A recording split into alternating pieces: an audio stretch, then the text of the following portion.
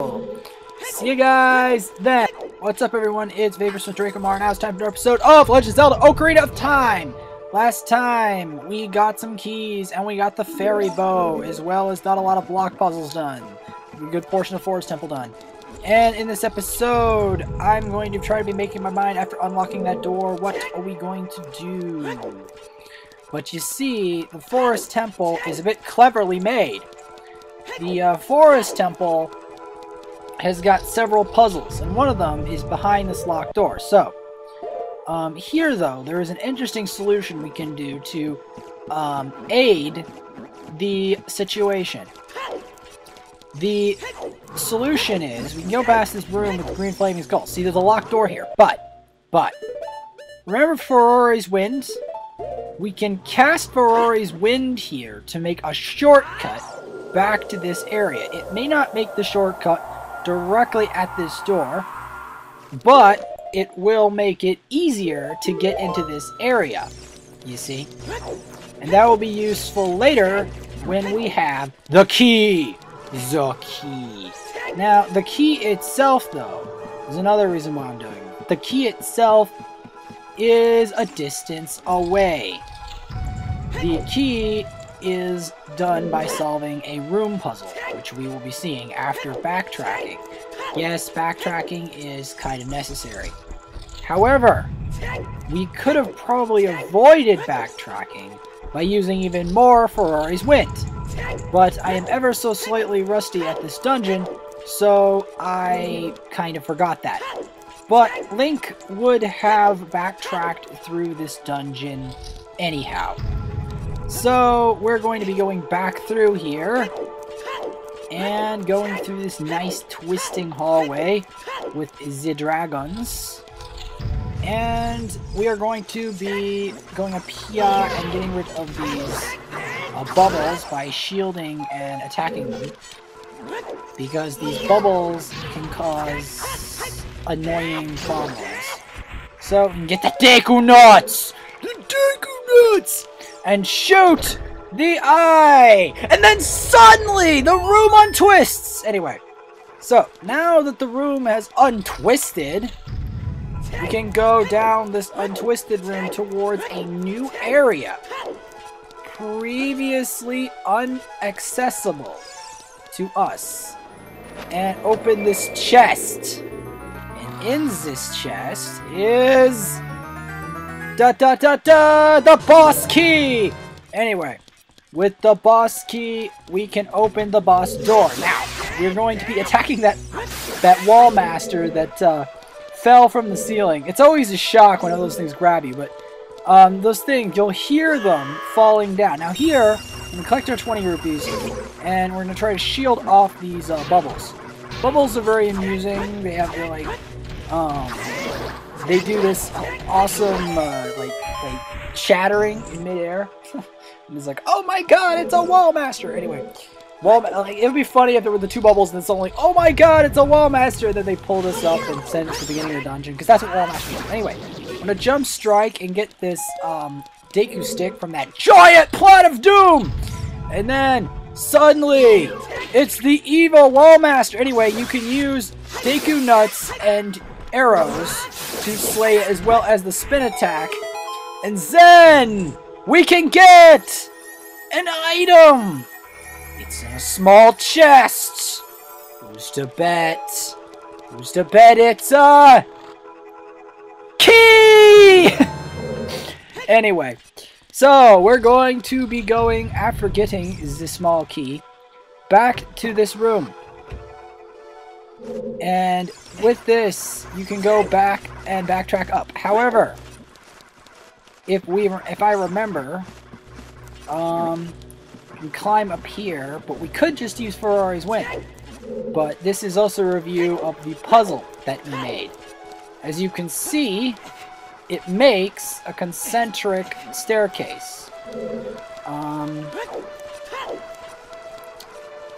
I don't really need to work on Hyrule Warriors, really. I already got the guard and dodge down. I, I just need to do it a little more with Ganon. And that's about it. That's pretty much all I do. Maybe a bit with Ganon versus Link and Zelda, but that's the only one I want to improve. I am Cia is not getting a rematch. Anyway, we're going we cast Farore's Wind. This is what Farore's Wind is. You can return to the warp point, dispel the warp point, or um, exit the warp point. Now that we are back in the hallway, fascinating dragon sculptures that are so awesome on the walls, you can go into this rotating room with poison in it. There is a eye, a, a single magical eye that's covered in ice, ice, and there is a torch, and you want to get on this rotating platform carousel, and then shoot through the fire, bullseye, and cause the hallway to twist. Now, when the hallway is twisted, you can also jump across these platforms, and we we like literally like kind of like sunk into the material itself. It's kind of weird. And we can see these nice floating green bubbles. And we can go into this hole in the ground, into this um, room with this giant platform that falls down, this checkered room. This brown and, and white checkered room. Now, there are Skulltulas in here, and you can shoot them with an arrow um, or hook shot, and you want to step on that switch. Now you want to be aware that the ceiling is going to continually go up and down. The spiders are in a specific pattern. Here we've got a some arrows, and we're going to want to stay still for a minute because the, the bridge falls down. Once you get the arrows, of course. And then it's Amy the Poe! And when you shoot Amy the Poe, suddenly a block puzzle falls from the ceiling! Now, you're going to want to push these extremely heavy blocks into place. So, this is the most ideal way to do it. You push that block, like, forward there. And then you push this block forward here, and then to the right. I'm saying it from the direction that I'm seeing Link in. So we also push this block forward, and these blocks are very heavy. So you want to plan out what you're going to do. You also do not want to climb up on top of the blocks because you have a very strict time limit. And you will have barely enough time to push the blocks into place. See, that one's to the right. And you push this other one to the right. It looks forward from here, but from the original position, left, from the original position, it's to the right. Now, we see the Amy Zapo, and, and you wait for her to rotate, and then you use the Deku Nut, and then you spin attack, you go nuts, and you use the nuts, and you attack and step, and then it, it and then it um turns invisible, and then you hit it with a shield, and then suddenly jump strike. You can have the insane battle of the Po. Now this battle can go on a lot longer if you don't use Deku Nuts to stun. And now Amy the Po is defeated. Now, if you don't solve the block puzzle, it will rearrange itself. Meaning you have to do the whole puzzle over again in a different configuration. You will have a longer time limit. But every time, it will change each time. It'll give you a longer time limit to a, a certain extent. I'm not exactly sure what extent. To do it. And then it maxes out at I don't know what oh, what it maxes out at, and then you uh, you only have that time to solve the puzzle. Anyway, so now we are going to be going on to Magnapo, the illusionist, the master Anyway, so that Po turns around. The one that turns around is the real Po. The rest of them are not actually Poes. They are illusions, and she has this nice regal gem. And um, I don't think I got the real one that time. Like, you see, I don't think I got that. That one! See, she'll fly backwards and you got the real Poe. Um, and uh, she has these very interesting purple torches. There, we got Bullseye! I'm trying to do it without locking on because it would be interesting. And we're going to get our hook shot out and see... Oh, the Poe's behind us. And we see if we can hit him with a hook shot. Or just with an arrow. And the Poe is defeated! And now that the Poe is defeated, we will be going on to the dungeon boss. Actually, not quite yet, but we're still going to be going into the room that precedes the dungeon boss. So, you're going to want to be pushing these giant tabs on the walls. And these giant tabs lead to a specific puzzle that goes in the order white, red, blue, in that order.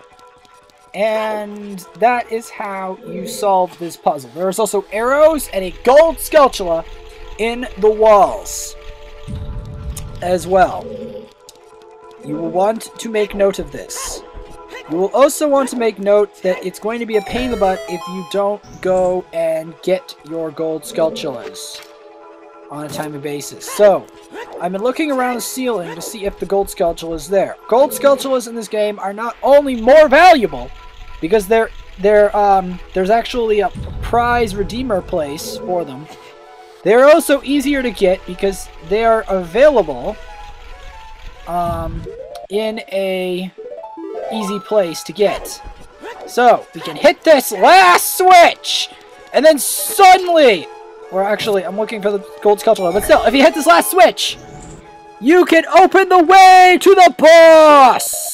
The boss, yes, the boss. Anyway, and we're going to be pushing this tabs again and getting our good and Skitchida. Skulltular. I've also been learning Dudley and Rose, and I'm doing a lot of different stuff. Um, it's now the new year, and I will be posting this in the new year. Um, I have many plans for the new year.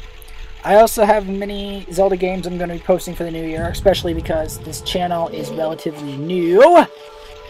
I have been doing a lot of different stuff. I have been... Yeah, I, fi I, fi I finished that other project, as I mentioned previously.